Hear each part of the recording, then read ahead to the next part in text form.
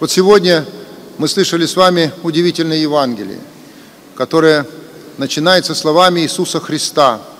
«Как вы хотите, чтобы с вами поступали люди, так поступайте и вы с ними». Одной этой фразы достаточно, чтобы о ней поразмышлять достаточное время. Во-первых, как вы хотите?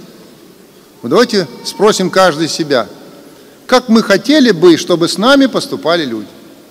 Ну, наверное, каждый из нас сказал бы, чтобы вокруг меня не было предателей, не было лжецов, не было лицемеров, не было тех, которые обманывают меня, которые пытаются обольстить или, может быть, из меня извлечь какую-то выгоду.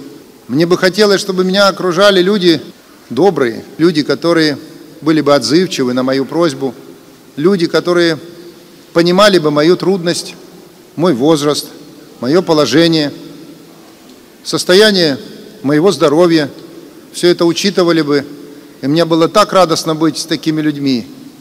И вот Христос продолжает эту фразу. Вот так и вы поступайте.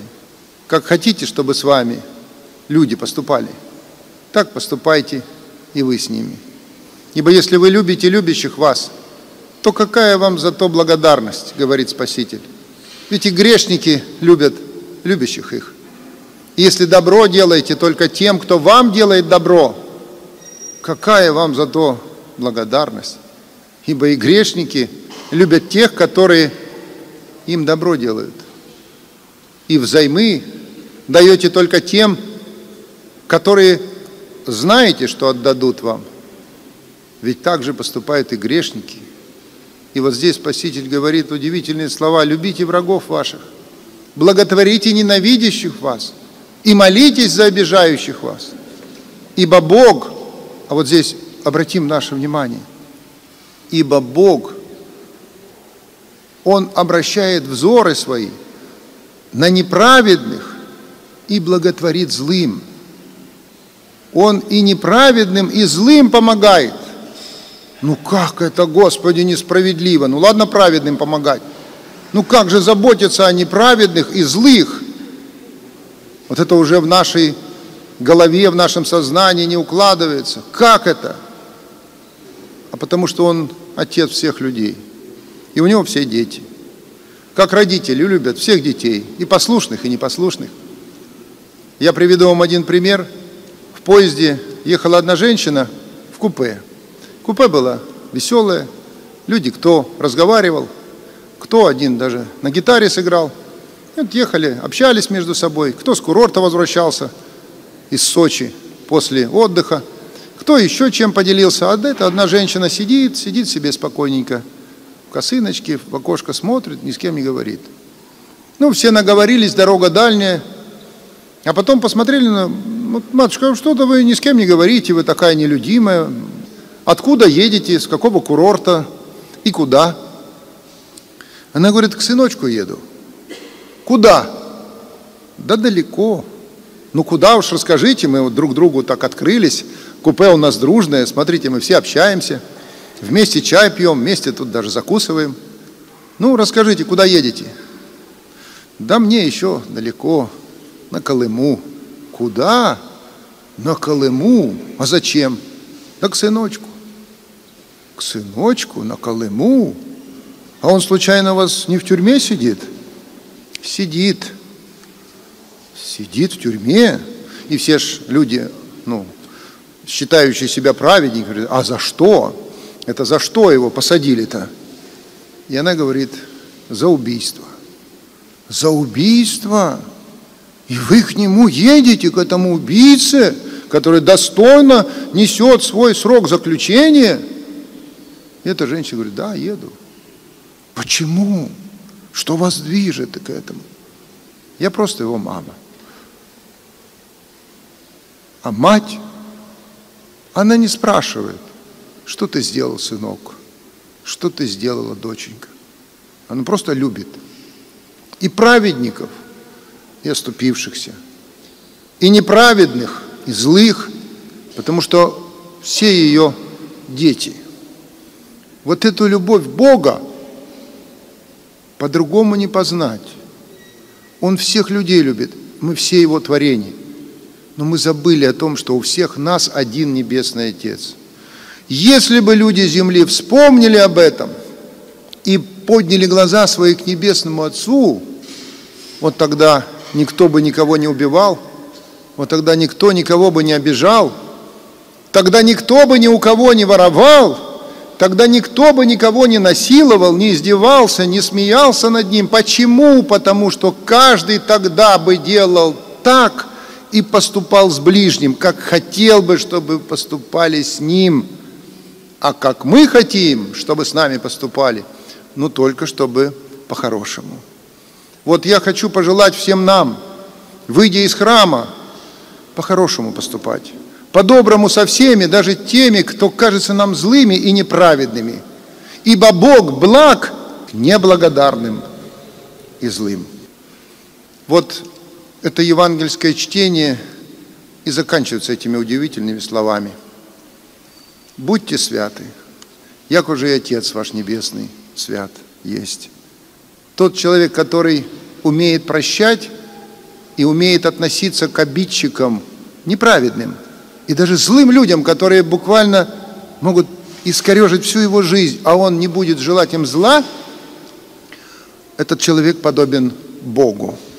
Так говорил Феофилак Болгарский. Человек, который умеет сохранять благорасположение к человеку, который творит ему злое – тот, который неправеден и достоин всякого наказания, но он находит в себе силы его простить и еще благотворить или что какое-то доброе дело ему сделать, этот человек Богу подобен, потому что Бог благ к несправедливым и злым. Вы видите, как высоко поднимает нас церковь. Не просто, когда мы приходим в храм, мы поднимаемся по ступенечкам – Сегодня мы были с вами за божественной литургией. Это небо на земле. Это человек, который прикоснулся к небесным храмам. Вот так поют на небе. На земле таких песен не услышишь. Под эти песни не пляшут, телефоны не поднимают и не крутят руками. И не танцуют под эту музыку. Под эту музыку, под это песнопение хочется молчать и плакать. Потому что душа соприкасается с небесным хором, которые поют «Свят, свят, свят Господь Саваоф».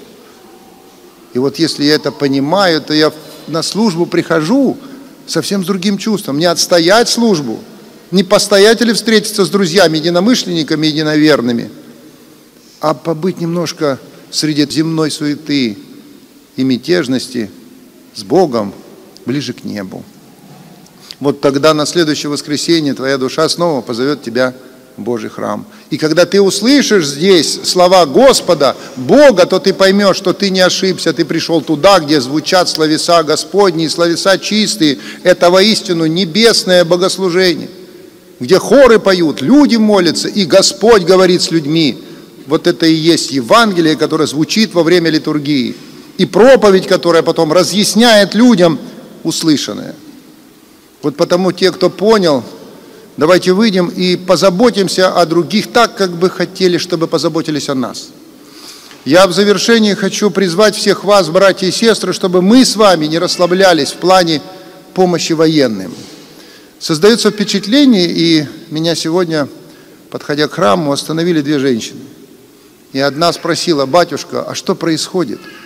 Люди так живут сейчас в тылу, как будто объявили победу. Никто даже помогать уже не хочет. Поначалу помогали, а теперь как-то подустали, говорят, да уже устали от этого. И когда даже показывают о военных событиях, да переключите, уже неинтересно, надоело. А там реально льется кровь. Там реально умирают наши братья и сестры. Там реально погибают военные. И это сегодня. Для нас в тылу, которые хотели бы, чтобы с нами как бы поступили, если бы тебя призвали в армию, и ты бы сейчас был бы в этом окопе, в холодном. Ночь сегодня спали на постелях, а ребята спали в окопах. Чем он согрелся? Был ли у него утром чай горячий? И что у него вообще было сегодня утром? И вот если мы поймем, что мы не имеем права, христиане, оставлять в беде те, кто сегодня находится в этой беде, в нужде, в заботе, в молитве – вот тогда мы по-другому будем относиться и к плетению сетей. Кстати, приглашу вас, кто, может быть, и плел, и подустал. Не уставайте. Там ребята не устают за нас воевать, а мы за них устали. Нам уже стало жалко что-то от себя отделить на фронт, чем-то помочь, каким-то лишним беспилотником, лишними радиопередатчиками. То, что нужно на войне ребятам сейчас, и не все есть. Вот если бы мы это поняли, мы бы совсем по-другому жили и уже по-другому побеждали. Тысячи погибают наших русских ребят. Тысячи! И те, кто оттуда приходят, они эту правду знают, о которой по телевизору-то не передают. Нельзя, потому что здесь нужна стабильность и спокойствие, иначе люди будут волноваться, к смерти готовиться, молиться начнут, представляете, покупать перестанут. Совсем по-другому жить будут. Другим еще от своей картошки туда что-то отдадут вещи какие-то, денежки какой-то заработаны, еще туда что-то, еще придут, поплетут, чтобы к нам не прилетело то, что там сейчас взрывается. А мы этого до сих пор не поняли. Вот сегодня мы едем вечером провожать еще один отряд, 80 человек. Сегодня ночью уходит батальон, подготовленные ребята, разгвардейцы. Это не мальчишки, это уже взрослые мужчины – и вот они попросили напутствовать их на фронт. Там уже нет неверующих. Все оставили и поехали Родину защищать. Вот такие есть у нас русские мужики. Мы сегодня после вечерней поедем туда, послужим, передадим крестики и, конечно, окропим водой и напутствуем ребят на веру, потому что нет больше той любви, если кто положит душу свою за други своя. Они идут за любовь. И я даже знаю, ко мне подошла одна женщина, пятеро детей оставил и пошел защищать свою семью. А мы и наша задача, мобилизовавшись, им помогать, прежде всего молитвой, трудом, посильными пожертвованиями. Вот тогда и будет за нами победа. Бодрствуйте и молитесь, да не внидите в напасть. И всякий раз перед сном осените себя крестом и вспомните тех, которых сегодня пытают в плену, те, которые раненые сейчас в госпиталях, не спят от болящих ран, когда ты ложишься в свою постель, вспомни, перекрестись и скажи пред иконой Спасителя, Господи, спаси и помилуй тех, кто сегодня в госпиталях, кто раненый, кто сегодня в плену, с отрезанными руками, ногами, пальцами, там же издеваются над нашими ребятами. Господи, я не могу ничем им помочь, спаси их и помилуй. Пусть эта коротенькая молитва будет им во укрепление. И обязательно еще одну молитву вознесите. Упокой, Господи, всех, кто вот в эти минуты отдал свою жизнь за Родину, погиб. Сколько их там погибает, наших русских сыновей пока здесь идут концерты, веселится публика и наполняют собою гипермаркеты. Вот мы должны, братья и сестры, это все понять. На том мы закончим, с чего начали. И так во всем. Как вы хотите, чтобы с вами поступали люди, так поступайте и вы с ними.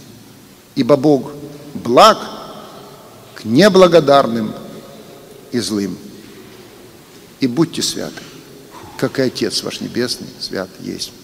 С праздником, с воскресным днем, и храни вас Господь, дорогие братья и сестры, на многое и благое лето.